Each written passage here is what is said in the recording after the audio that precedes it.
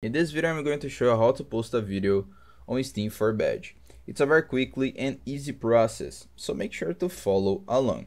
First, I will point out that you need to post your video on your YouTube channel. If you don't have a YouTube channel, you need to log on youtube.com and create a channel to post the video that you that you want to post on Steam, okay?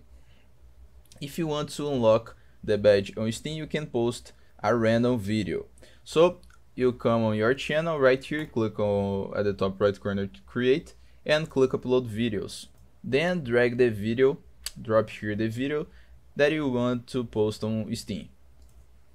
Make it public, then come on your Steam, come on your name right here, so drag your mouse into your name, click on activity on the first option, you will come to this page.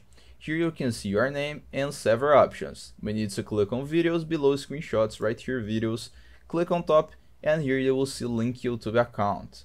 Click link YouTube account and here on the green button you need to link your YouTube account. Okay, so click right here and log into the channel that you have on YouTube.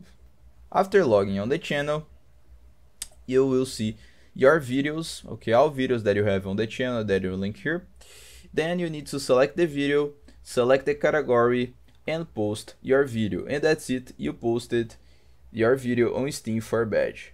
I hope I helped you on how to post video on Steam for badge. So if this video helped you in any way, hit the like button and subscribe to our channel to receive useful tips.